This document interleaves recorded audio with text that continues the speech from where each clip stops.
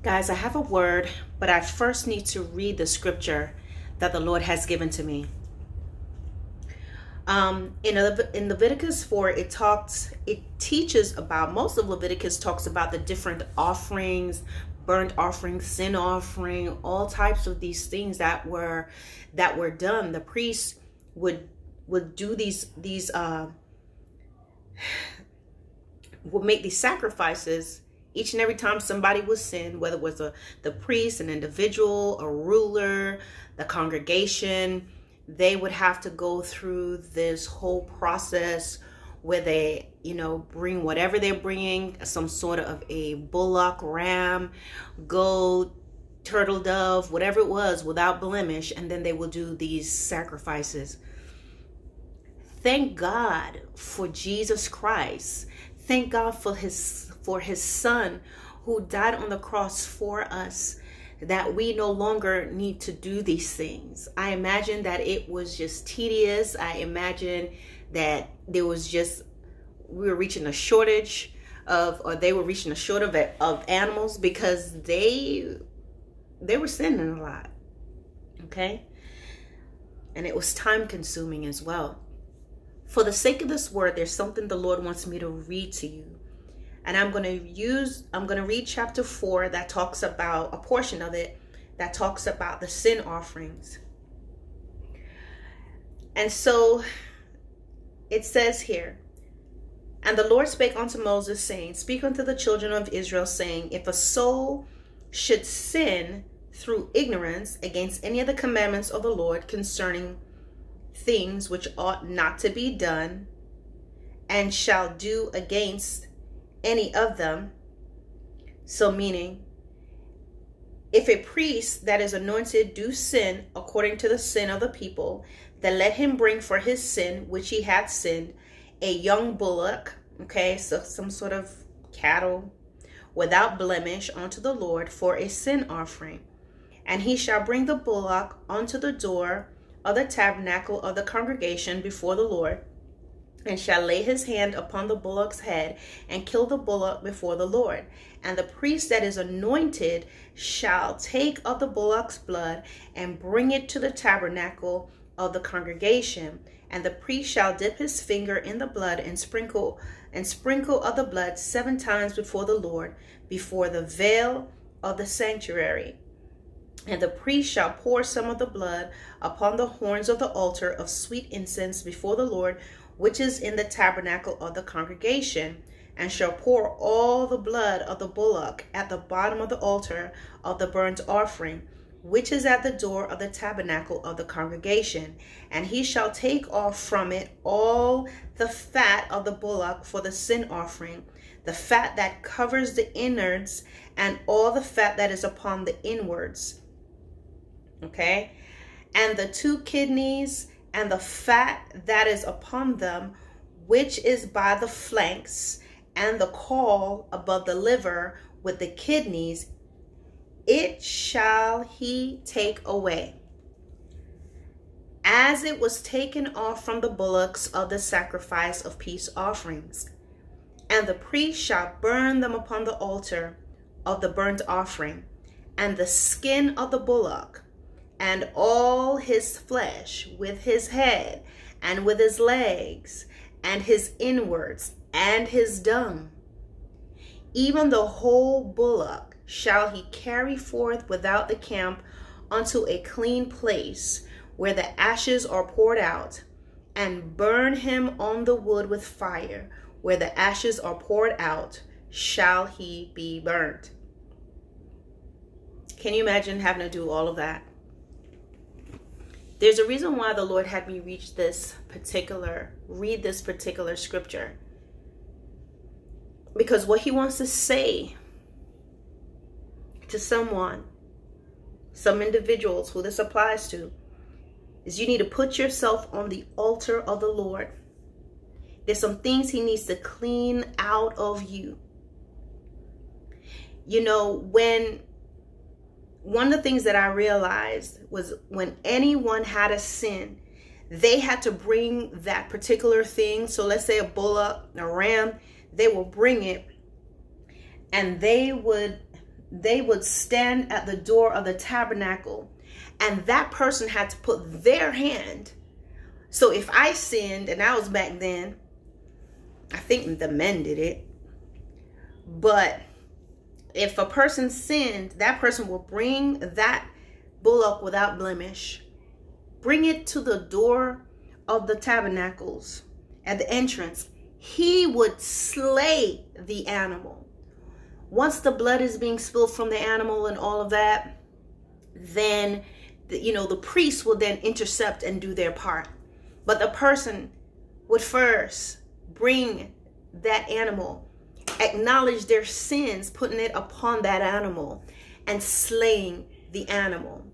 So God is calling those of you that I'm about to identify. It's time to bring this habit, this stronghold to Him and allow the Lord to completely remove these things that is that are keeping you bound. And what am I talking about today? The Lord has had me in the area of relationships. Some of you, you man, you woman, have been in relationships. Let me start with the, the, the man first. You've been in a relationship where you were with a woman that mistreated you. She cheated, she did wrong, she did all kinds of wrong things to you, low down, dirty things to you. Now you have a woman who treats you well, and you are now treating her badly to you, uh, woman, what young lady, miss, you've been in relationships in the past or you were with someone that used to treat you really badly, disrespect you, maybe physically abuse you, did all types of wrong to you, disrespected you a lot. And now you have this man in your life who is treating you well and with respect, and you are now disrespecting him, speaking to him with disrespect. In both scenarios, both male and female, you both have the history, you have a history in previous relationships where you were treated badly. And now you're in a relationship with someone that treats you better than you've ever been treated before. And now you find yourself you are now in a state of displacement. You are dogging that man out like these like the man that used to date dog you out. You are treating him the way you used to be treated by your previous relationship and the type of men that you're used to. You, sir, are now mistreating this woman who loves you, who's loyal, and and she's she's she's being faithful, but you're accusing her. You're doing all these things based on the things that you've experienced in your last relationship or the type of women that you're you've dealt with in the past. And God is calling you man and woman because you are his child. You are claiming that you know Jesus Christ. He's calling you to the altar to repent. He wants you to bring all of that, all those things, and lay it on his altar. Get in his presence so he can remove all of that. Because what is happening, my brothers and sisters, you're still in a soul tie. You're still in a soul tie with the person from your past. So what's happening is they have deposited abusive seeds in you.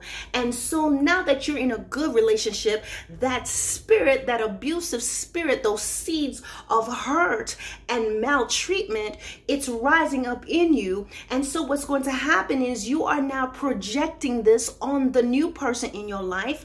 And you're either going to end up destroying this person in your life and they become a little monster towards you, or you're to end up breaking up with this person. The person ends up leaving you. And what's going to happen? You're to go back to what you've always known.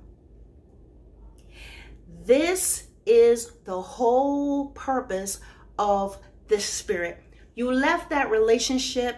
You maybe you're now remarried or maybe you're now dating someone and more you're married to the person as I said, but you are you are still filled with the seeds. You have still you are still being tormented by the strongholds and the and the soul ties. You see soul ties soul ties are not always sexual fond memories Sometimes your soul tied to abuse, your soul tied to the spirit of disrespect, a, a, spirit that cusses you out. You would have more respect for someone. You would try harder for someone who's running around on you, doing stuff to you, or slapping in your mouth, slapping you in your mouth. And this is not normal. So these things are things that needs to be brought to the Lord and placed on the altar of God so that these things can be removed. The Holy Spirit can burn away those things things can take those things that's still in you. The, the listen your your your your kidneys and all these different things are vital organs my brothers and sisters. So what happens sometimes in these cases is you are still you are still being infiltrated in your heart. You're still being in, infiltrated in ways, my brothers and sisters, that it's just permeating into your very being everything about you. You are permeated and by the trauma of the things that have happened to you. And so that man, that woman from the past, that spirit still has you, has that spirit still has a stronghold on you, still holding on to you because ultimately it wants you to come back. It wants you to go back. So you're going to destroy what good the Lord has placed in your life. And then you find yourself going back to the abuse. Some of you may even be seeing someone on the side and, and the person is completely opposite. They're not nice. They're nasty. They act just like the people you used to, what you used to date. But my brothers and sisters, I'm trying to tell you that spirit's goal is to get you to abuse and lose this relationship that you have so that ultimately you will return to it. And how are you going to return to it? By going to somebody that has that the, the abusive dispositions that you're used to. Because you see what's happening is you become the abuser because those seeds of abuse has been placed in you and it has not been removed. And now you are you're you're seeing through the blinded eyes of rage Someone is living the nightmare that someone else caused in your life. God is calling you to the altar. He wants you to lay out all of that on the altar. Come before Him, repent, acknowledge your sins, and pray and ask the Lord to cleanse you from all unrighteousness. Because He hears the prayers of your mate. And if it's somebody that you are dating and someone that God is truly working in their life, God is not, the Holy Spirit will guard their hearts and remove that person from your life. He's not going to have you to destroy his vessels. God is calling you to a place of accountability. He wants you to come to the altar. Turn yourself over to him. Let him get into those vital areas. Remove those things that needs to be removed from you. Come on, guys. Let's stop having the enemy play games and use us for unrighteousness. God is calling you to a place of accountability. Stop abusing that man. Stop abusing that woman. This is the word of the Lord.